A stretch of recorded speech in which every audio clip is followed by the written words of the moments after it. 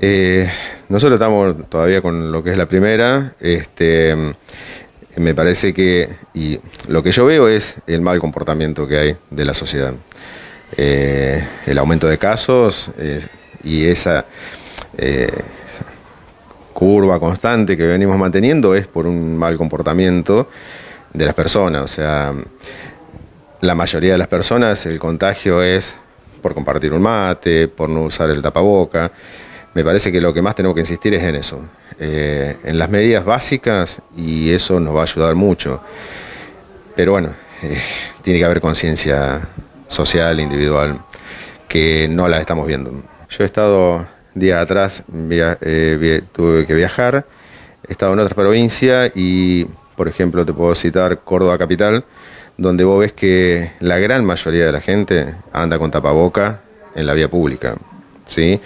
Córdoba ha sido muy castigado en muchos casos y, la verdad que el comportamiento es muy diferente a lo que por ahí vemos en esta zona. Acá el uso del tapaboca no, no se ve, solamente si entras a un local se lo ponen. Habitualmente ves, lo más frecuente es ver gente que eh, lo usa mal, ¿sí? Muchas lo, usan debajo del mentón, que no, se, no tiene ningún sentido. Este, entonces me parece que nos falta mucho.